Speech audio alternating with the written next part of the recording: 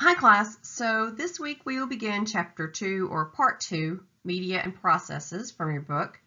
And in this section we'll be looking at various ways to make art through the through media and processes. Um, now that we've really covered the basics, looking at the elements and principles of art, we get to the fun part of actually looking at the different ways that media is made. But don't completely forget everything we've looked at in the first part because we will really utilize the elements and principles as we talk about the various media. So in this chapter, we will look at the different ways in which artists express their ideas. Everything from the most traditional forms of drawing and painting, all the way through photography and film. Um, now we'll cover very little of the end of this part due to lack of time, but I will incorporate some film into our discussion of photography. Um, but looking back at everything else, each of these various styles could easily consume a semester or more of classes. But for this introduction to visual arts, we will unfortunately just have to hit some of the highlights of each of the various media. So rather than covering several sections at once because there is so much information, I've really created videos for each section on its own with the exception of we'll see sculpture and architecture put together and then photography and film as well. So but this week we're going to start with 2.1 drawing. So what is drawing? I think we can probably all identify a drawing and drawing is actually defined as the depiction of shapes and forms created by lines on a surface. This is the most basic skill learned by artists. And not only artists draw, um, think of all the drawings you did as a child and brought home to your parents who probably had them on the refrigerator forever. Um, and even children often draw before they can, they draw to communicate before they can talk. So there's lots of reasons that we draw. Um, artists use drawing to define their ideas.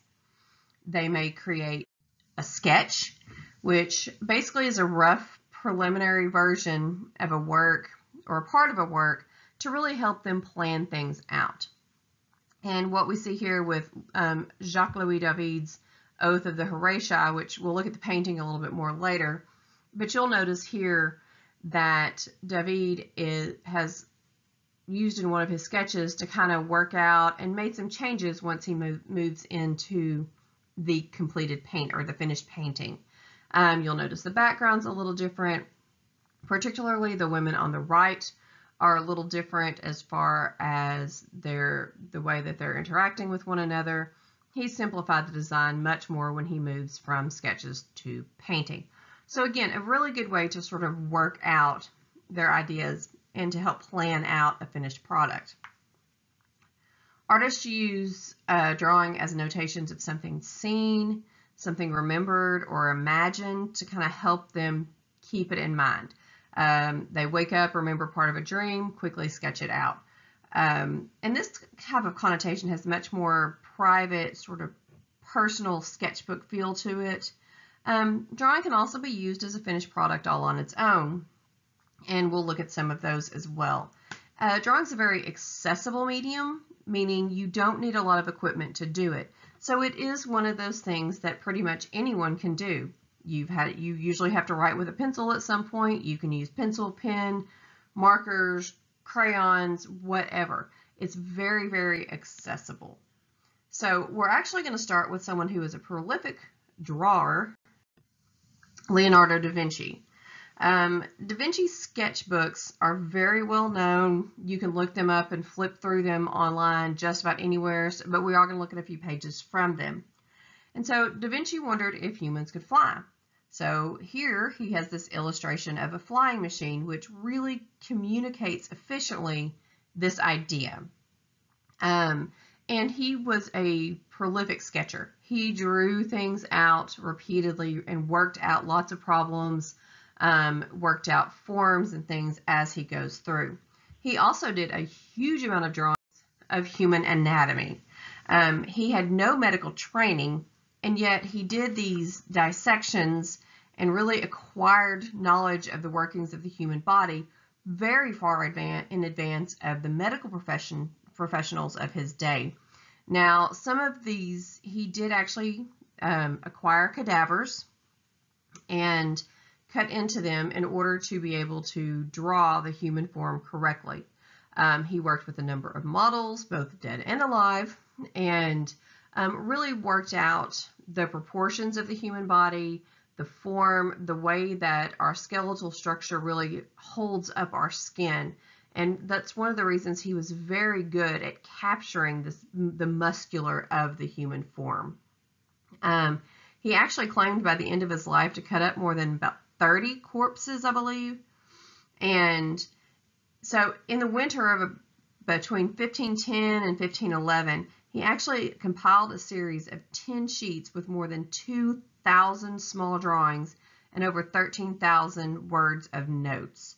Um, he was the first person to depict the human spine accurately, and he then used these all to enhance his portrayals of the exterior of the human body.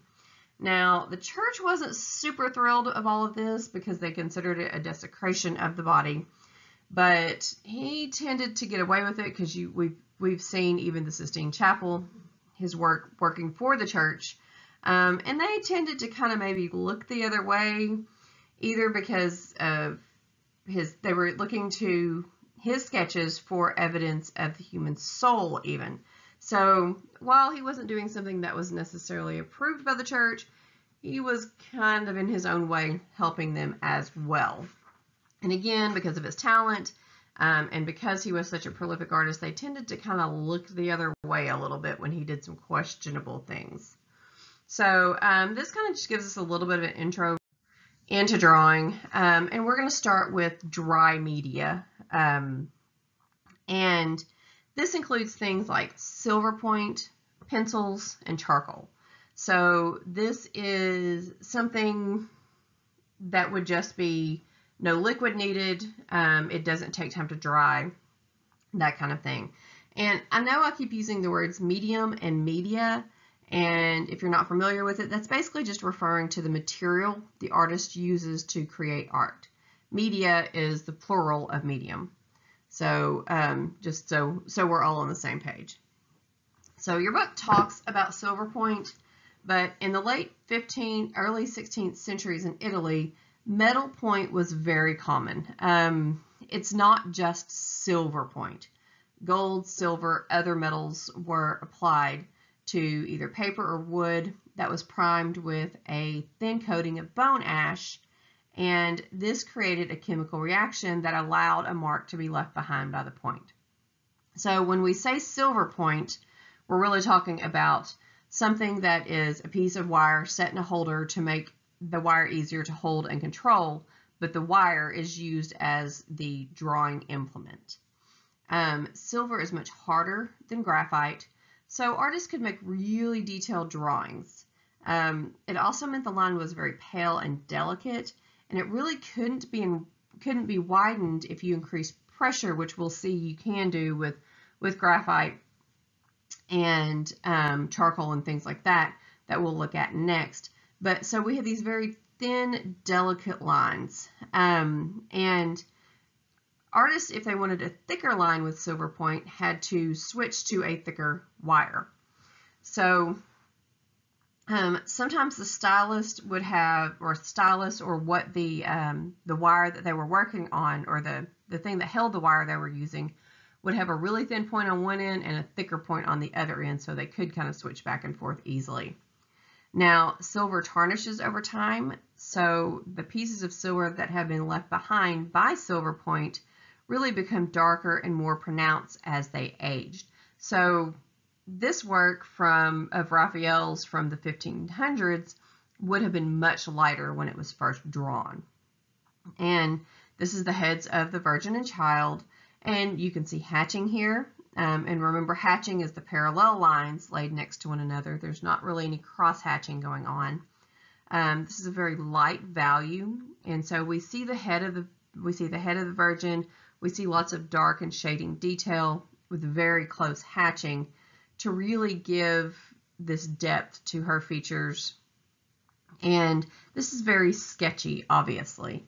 Um, now, one thing about silver point or metal point, very few artists use it today because it's very unforgiving. You can't erase the mistakes. Um, it's not something that's easily to easy to fix. Now we have Filippino Lippi, um, his standing nude and seated man, again working out. This is kind of a working out of forms.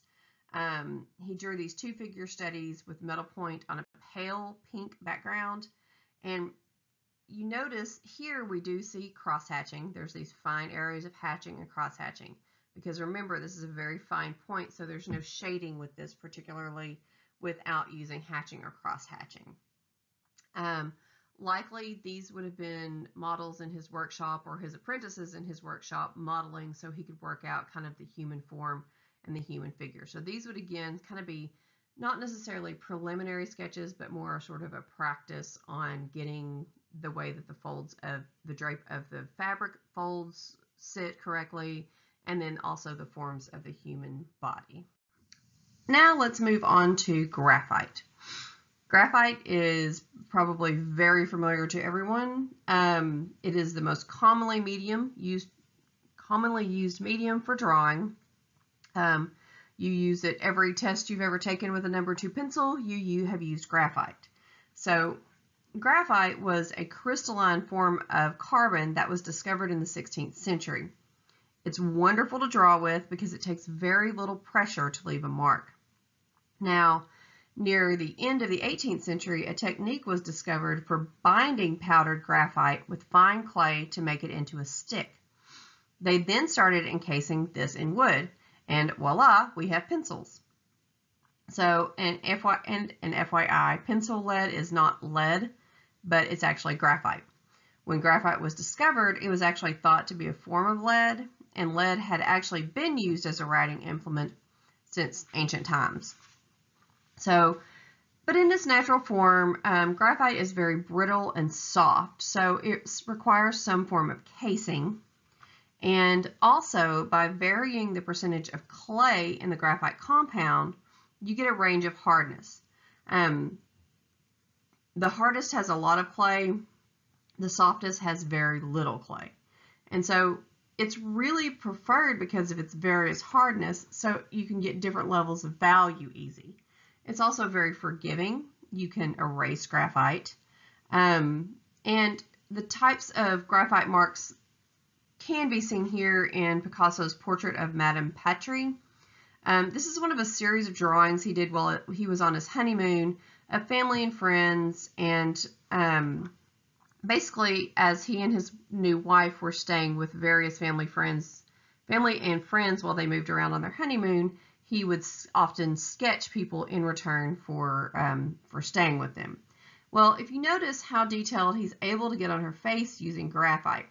Now this type of control from lights to darks is really one of the reasons graphite is so popular among artists so you can layer it on without having to do this cross hatching. You can do shading with it. Um, and then we notice he really concentrates on her head and just sort of does these contour lines to really define her, the rest of her body and the chair that she is sitting in. So in your book is a diagram similar to this that shows the various shades available in graphite pencils and how, they, how their marks look. Um, they range from 9H, which is the hardest pencil with the most amount of clay, making the lightest mark, to 9B, which contains the most graphite and is the softest, making a very dark mark.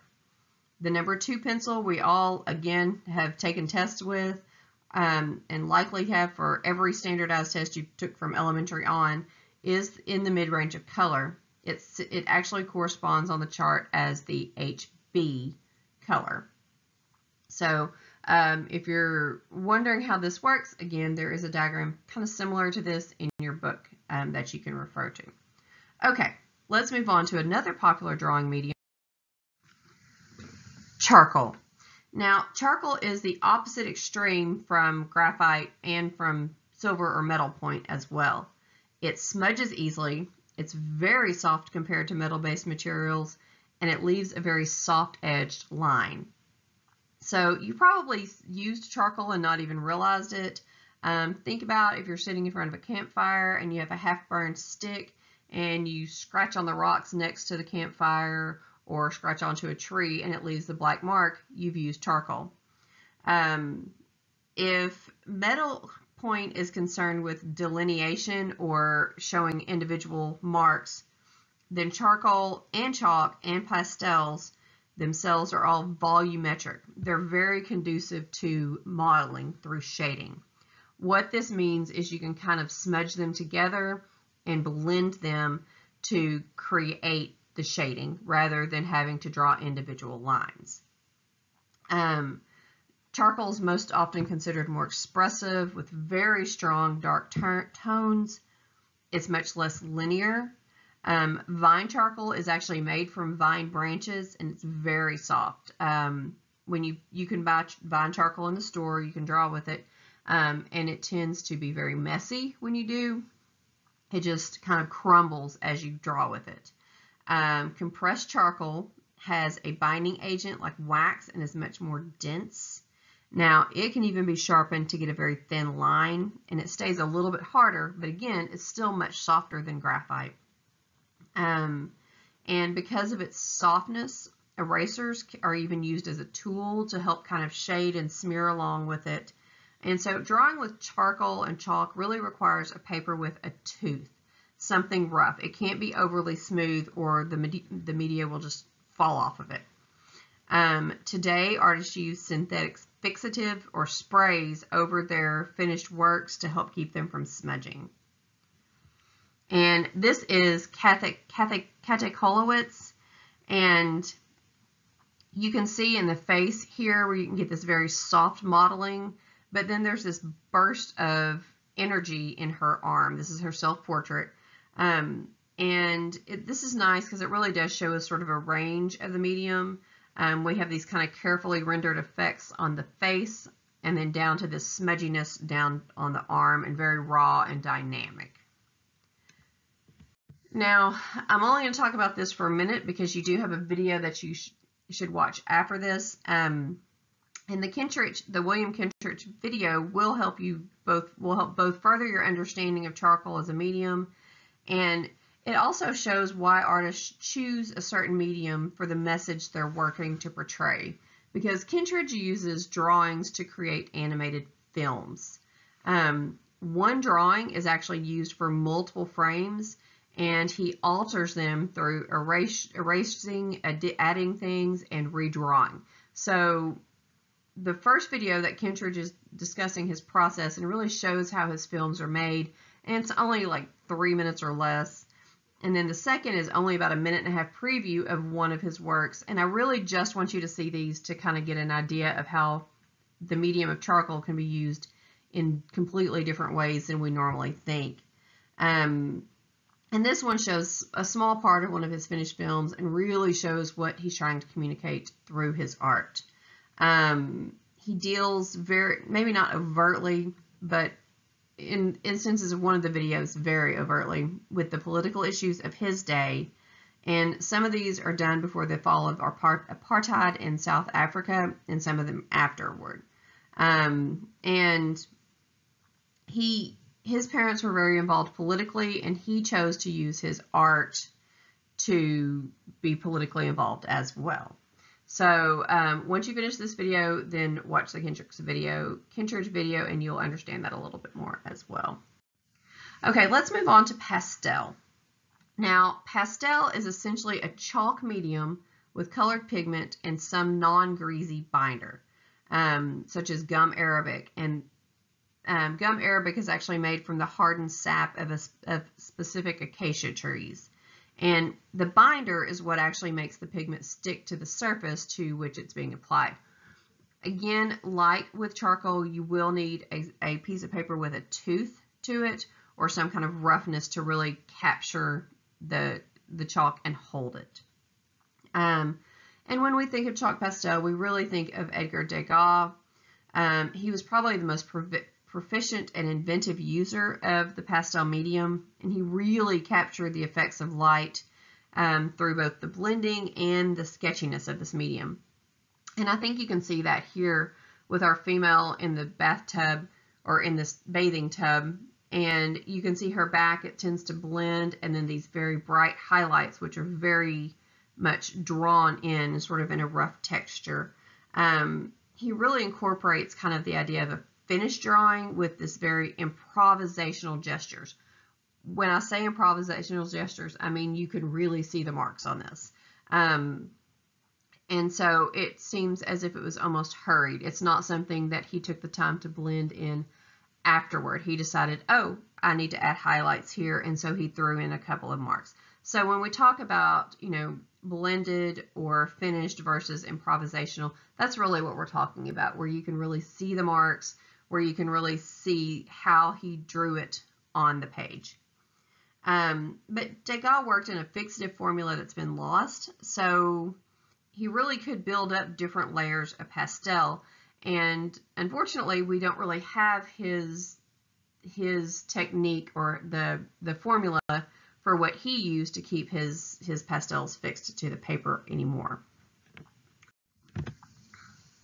So there's also what's called Conte crayon, C-O-N-T-E crayon. And this is a heavily pigmented pastel combined with wax to make it into a crayon-like form. Um, it was named for the inventor Nicolas Jacques Conte, who was a French painter, and Conte is really used most often for making preliminary sketches. And this can be seen here in George Seurat's Trees on the Bank of the Seine. And this is a study for the painting we've seen several times, which is um, a Sunday afternoon on uh, the island of La Grande Jatte. Um, here he really pushes this idea of light and dark tonal qualities that can be created with Conte crayon. Um, you can see the deep, deep shadow along the right side of the tree in the front, um, along with the various mid-range tones that really make up the intertwining of the branches. And this is always an interesting sketch because this singular tree is is always sort of a conundrum. Can you is it very three-dimensional? Is it extremely flattened? It's kind of both if you really start looking at it. You see a lot of depth in the center part of the um, the tree branch or the tree base and then this black strong outline on the far right basically just kind of flattens the whole thing. So anyway, but Conte crayon is really good for kind of getting a number of values. And so again, this makes it very popular because you're not having to switch out things like pencils and or switch from implementations to kind of get various values within within sort of this preliminary drawing idea. Okay, let's move on to liquid and wet media in drawing. Now, this, discuss, this discussion will also lead us into the next section with painting, but for the remaining of the discussion in drawing, we will look at types of ink. Now, ink can be applied with almost anything, but brushes and pens are most common. Um, they dry or harden as the liquid evaporates. And ink is really liked because it's permanent. We talk about the erasability of graphite and charcoal. Well, when we talk about ink, it's permanent. Which again, think about going through elementary school, you were only allowed to use pencils because you had to be able to erase. And then once you get to high school, they really encourage you to use pen because they don't want you to erase. So um, kind of that same idea here between graphite charcoal and then ink used in art. And one artist you're probably really familiar with who readily used ink, which was we see here, is Rembrandt. And this is his cottage among the trees. Now, before the 19th century, artists would use reed pens from certain plants or quill pens from wing feathers of large birds to apply ink. Um, and Rembrandt was, again, a very prolific drawer. He made thousands of ink drawings in his lifetime. Um, many were preliminary drawings, but a lot of them were just merely for the pleasure of drawing. He would take his ink out and he would go draw. Um, there's various levels of detail in them. And ink is a very linear medium with quill and reed pens, which really controlled the flow of ink with a slit that was parallel to its shaft, which meant that they could get various lines depending on how wide this the um, the slit was. Now, Van Gogh was someone else who really enjoyed working in ink, um, and he really controlled his pen strokes. Um, he would he was very good at changing the width of his pens, um, and he worked in these short lines to create this really much, a big sense of, sense of energy within his work. And um, you can see here in his Sower with the setting sun, even though we don't have a lot of color, it's a very active drawing. And so he very, very much loved the idea of these very short lines, which are very reminiscent to the heavy impasto that is in his painting. And then there is Chinese drawing and painting with ink as well. Um, when we look at Chinese art, a lot of this is going to be much more drawing with ink and brush. Um, and ink is much more fluid when it's used with a brush. Everything we've looked at thus far has been very specific lines. Well, you notice there's much softer edges to the drawing here. Um, and this takes us into kind of a combination of both writing with a with a pen and um, drawing with a brush. Um, drawing with a brush has a long tradition in the East, and because the brush is actually used for writing as well. And Chinese calligraphy is very much considered a high art. And so like with calligraphy, ink drawings can be have the same long, elegant lines. And you can kind of see that here. Um, it's very economical. There's few lines and marks that make it very expressive. Um, each, each leaf, each branch was very delicately put on. And so this actually is a good transition into painting um, because we do sort of look at the idea of painting with ink, and then we'll move on to paint as a medium itself.